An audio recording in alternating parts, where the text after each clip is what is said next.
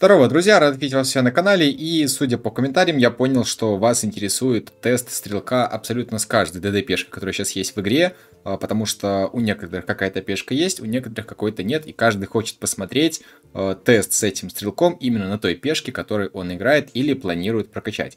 Поэтому сегодня мы продолжим на монахе, дальше будет культист, барды, прочее, прочее, прочее. Я думаю, каждому будет интересно посмотреть, а если у меня какой-то прокачанной пешки нет, то Коля, наверное, с, с кайфом к нам а, присоединится и покажет ту же самую банши, танцу или что-то другое. Поэтому перед началом желаю всем приятного просмотра, кто кушает приятного аппетита, маленькая пауза и будем начинать. До сих пор доначишь через игру? Фатальная ошибка. Я расскажу, как это делать правильно. На официальном сайте MyGames в разделе Rush Royale существует различное количество товаров, начиная от кристаллов, пропусков, заканчивая платиной. Для наглядности объясню, что такое платина. Вот она у меня есть на аккаунте. После того, как вы покупаете платину, любой товар в этой игре э, встает выбор купить за обычные деньги, либо за платину. Я закупаюсь, как правило, платиной, потому что это удобнее и всегда можно купить любое предложение, либо что-то другое, то или пропуск, или что-то так за платину. Это удобно. И бесплатным колокольчиком, который можно забирать раз в сутки. Обязательно этим пользуйтесь. Также есть лимитированная акция по колокольчикам. Это разовая покупки, которые можно забрать один раз. Для того, чтобы совершить покупку, вы выбираете любой товар, например, это будет 1000 платины, бонусом идет 10%, нажимаете «Купить». Э, для того, чтобы поддержать меня и принять участие в розыгрыше, который проходит каждый месяц, нажимаете «Поддержать автора», вводите мое кодовое слово «Але», э, можете написать любое сообщение, которое придет мне э, на аккаунт, я его увижу, после чего нажимаете сюда, выбираете платформу, с которой играете, у меня это iOS, выбираете свой ID, нажимаете «Продолжить», после чего перекидывает вас на окно оплаты, где вы оплачиваете любым удобным для вас способом. Запускаемся в бой, ребята, и я надеюсь, что за первую волну получится выставиться, чтобы я уже потом рассказал вам, почему какие-то таланты выбрал, почему именно так э, и никак по-другому. Э, поехали, Коля будет играть на такой же колоде, утильщик у него... Такой же? Нет, нет, вот утильщики у нас разные, и посмотрим, как сейчас это будет смотреться. А, за счет стрелка сразу же будем начинать потихоньку выставляться. А, Орликина у нас нет, у нас нет призывателя. Если мы играем со стрелком, то наш основной э, помощник это утильщик, потому что благодаря утильщику мы сможем прокачать э, стрелка и убрать все самое ненужное, вообще, в принципе, что есть. Поехали, потихоньку я посоединяю. Вот так я нахожу сразу себе ловчего, вторых монахов. И второго монаха я, наверное, хочу поменять с первым, потому что тогда больше шанс, что как бы быстрее он до 7 прокачается. Так, тыквы нам будут помогать, наверное, потому что это будет больше маны, очевидно. Так, перемещаем. И вертикаль у нас уже построена. Неплохо. Так, утиля второго я нахожу. Это меняю, меняю. М -м -м, эти ребята нам не нужны. Второго я тоже, наверное, скипну. Пробужденный. То есть, э, если вам надо был гайд, как находить пробужденный, пожалуйста, ничего сложного. Просто межите все подряд и спокойно находите. Так, отлично. Третьего утиля делаю сразу, и третьего утиля нам будет достаточно. Э, для того, что я планирую делать дальше. Так, еще второй меч. Убираем его. Раз, два. Все. У Коли там чуть-чуть пока что не получается, но, видимо, у него есть какой-то план. Э, у нас стол уже готов. Э, меняем стрелка начинаем кушать. Так, два ловчих я пока не буду оставлять, я оставлю одного. Это сюда можно смело отдавать. И поехали. Теперь самое основное находить монахов. Когда мы будем находить монахов, а почему я делал Т3 утиля, я нажимаю монап, соединяю вот так. Нам дается дополнительный монах и куча всего к этому. То есть, э, если раньше я просто их кушал, то теперь я буду прожимать манап, и под манап все это дело у меня будет прокачиваться очень быстро, и урона будет много за счет того, что я буду получать дополнительные стаки, которых раньше я не получал. Таланты стандартные для монаха на благословение, таланты стрелка почти тоже стандартные, но я взял э, призрачную связь, чтобы э, не сильно утруждаться, Потому что можно было, конечно, менять с этим вот или этим монахом давать дополнительный буст, но на это время ломался бы крест. Поэтому все-таки больше нет, чем да. Так, нам нужен еще монах. Непонятные пешки качаются. Монах. Есть. Есть. Т3 основной стоит. Коля почти достроился. Единственное, я немножко не понимаю, почему он... Почему он строит Т3 монаха не в росте. Возможно, он потом его переместит. Так. М -м -м. Нужны еще монахи, потому что готов уже монап. Монахов нету. Монахи есть. Поэтому нажимаем монап. И начинаем дальше все поглощать. 16 стаков у нас уже имеется, Т3. А, по глазам я, в принципе, не переживаю, потому что они в любом случае потом найдутся. А, мы будем все мержить. Коля негодует, что-то у него не получается. Не может он найти последнего монаха, чтобы переместить туда четверку. Так. Отдам тыкву, ничего страшного. Эту тыкву я не хочу отдавать, потому что мне... О. Короче, игра не спрашивает, я понял. Ну и монахов она не дает. То есть шанс на то, что выпадет монах, крайне мал. Поэтому тыкву я сейвлю по-любому. Амулет 28%. Так. Хорошо, все, тыкву засейвили, стрелок у нас стоит пятый. Э, осталось прокачать монаха. Потом, опять же, я могу сейвить, когда будет лететь в Т7 стрелка. Но до этого еще далеко. Утиля я ставлю здесь. Коля построил крест.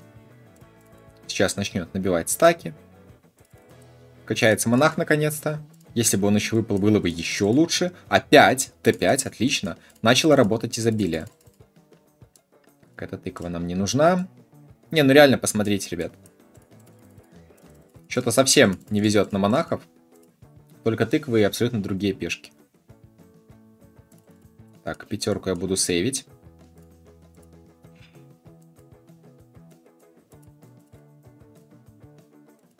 Меч пускай, монах. Итого, 21 стак, Т6, э, смотрится все неплохо, точка роста половина уже есть, есть высокий стрелок, один ловчий. Как только монах докачается до Т7, я сразу же добавлю второго ловчего. Э, в конце можно спокойно ставить третьего, потому что точек на столе, ну, супер хватает, ничего страшного не будет. Пробужденный, еще монах, глаз 5 на пятой волне, это неплохо.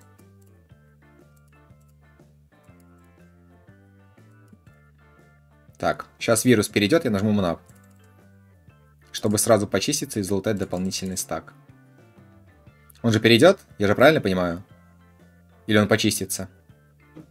Нет, чистит он другого, поэтому, ну, переходи. Сколько ждать? Вот как понять, через какое время, через какое количество времени оно перейдет на эту пешку? И перейдет ли в принципе? Нет, оно не перейдет, можно жать. Так, еще монахи.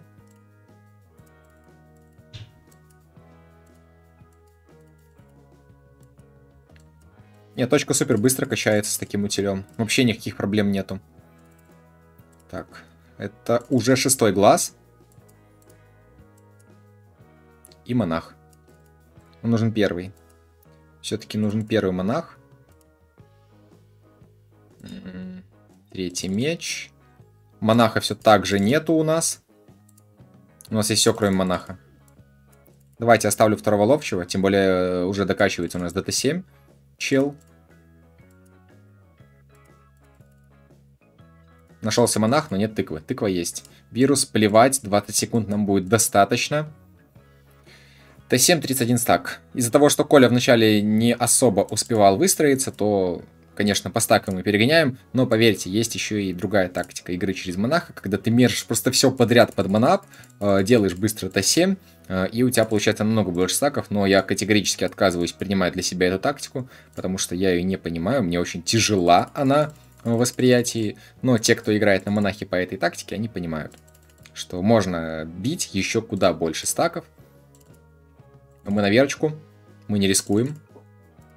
Там, кстати, идет Бам-бам. Еще третий стрелок.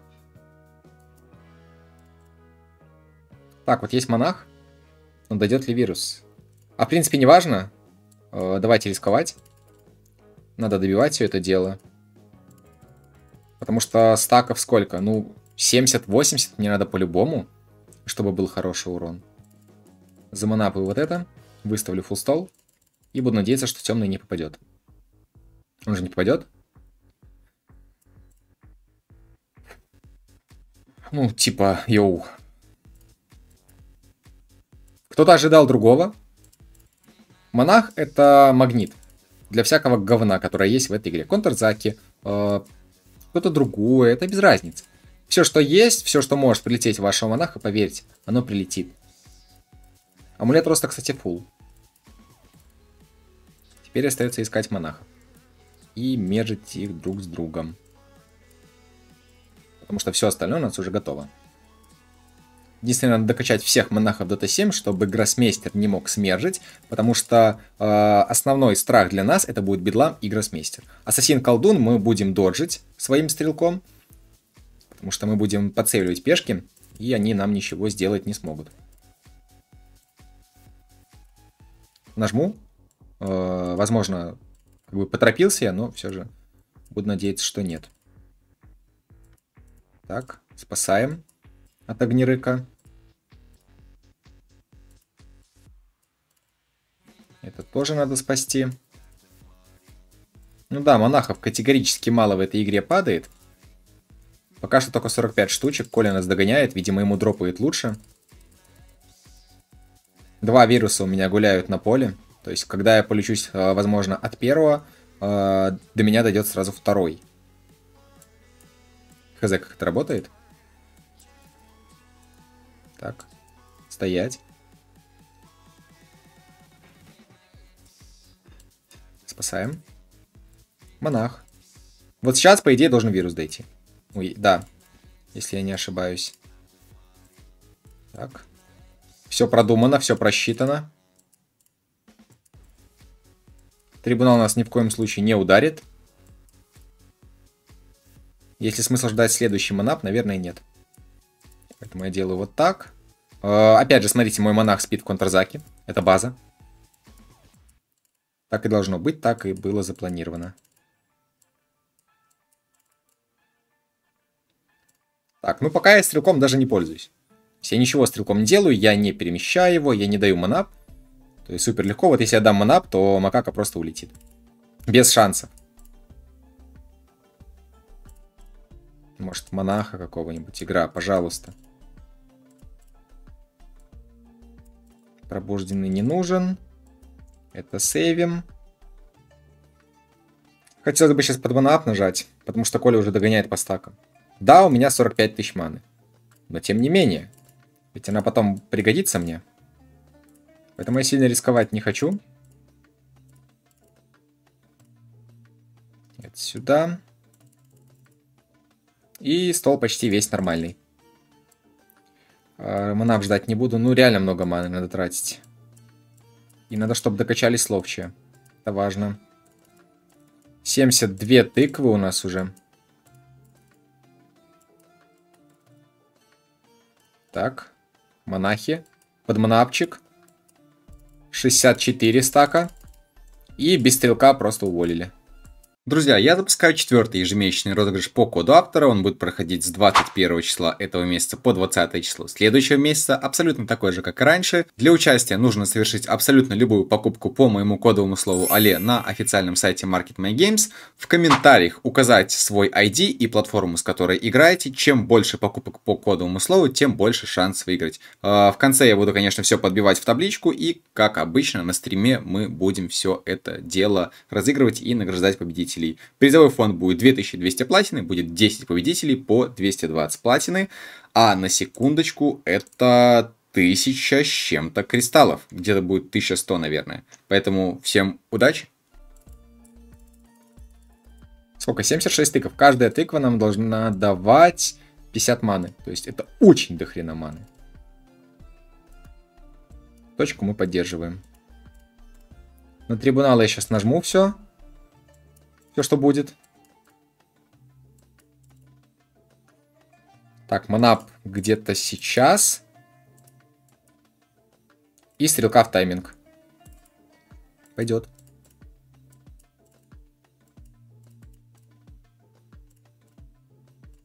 Так, тыква, утиль, амулет делаем. 2 Т6 ловчих. Я уже вижу, как игросмейстер между собой замежет. Блин, мне кажется, что у Коли ситуация как-то получше, хотя стаков больше у меня. Давайте потихоньку будем мержить.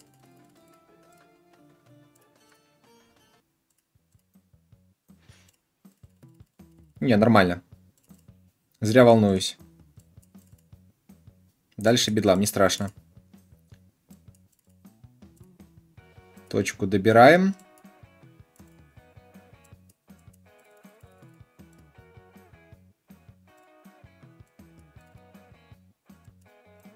Я так понимаю, Коля просто всю ману сливает. Он что-то под манап мержит, что-то так. Раз, два.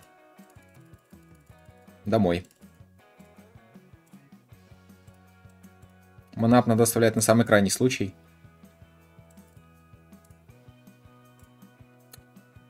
Ну что, может оставить? Так, нет, братишка, подожди. Монету тебе нельзя терять. Э, есть еще один ловчий. Че, оставим его там? Пусть, может, стоит. Раз, два. На волне у нас проблем не будет никогда. С таким стрелком. Ну, по макаке. По макаке больновато, да. Надо нажимать манап. Потому что это уже макака 4 минуты. Так, все, договорились.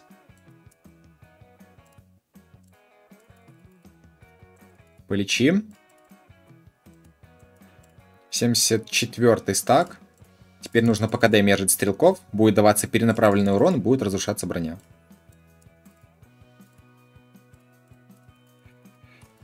Давай.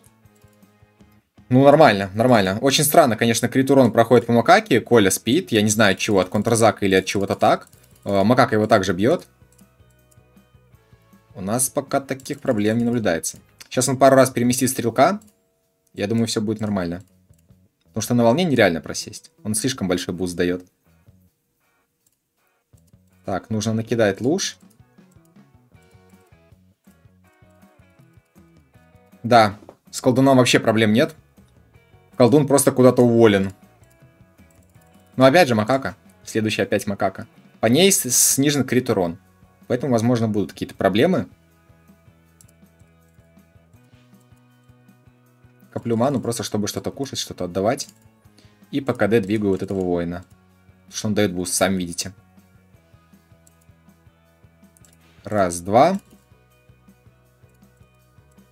Раз, два. Дальше Градмейстер, ребята. Э, мой любимый босс, который будет э, мержить. Я не знаю, что он будет мержить. Э, пока что мержить нечего. Но как будто вот сейчас... Конечное. Сейчас будет что мержить.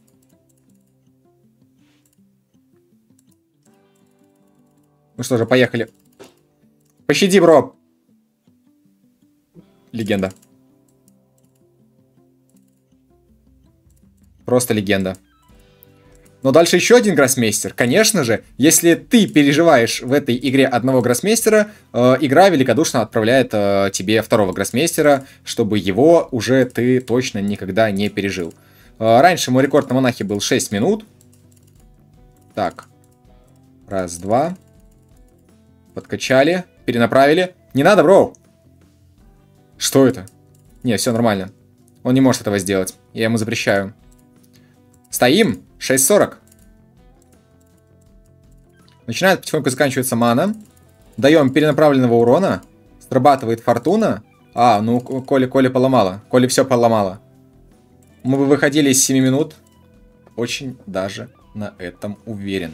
За счет того, что у нас были высокие ранги, э, неплохо неплохо. То есть э, раньше с Фортуной вот такой вот я стоял там, ну, 6.10, 6.15, это было на соплях, э, если сделать все максимально качественно. Играли мы что, с куртками получается? Да, играли с куртками. Э, шмотки одинаковые, копье, куртка, скорость, рост. У меня все то же самое. Фух, ну да, жестковато, жестковато. 7 минут на монахе. Такого я еще не видел. И опять же, это не максимум.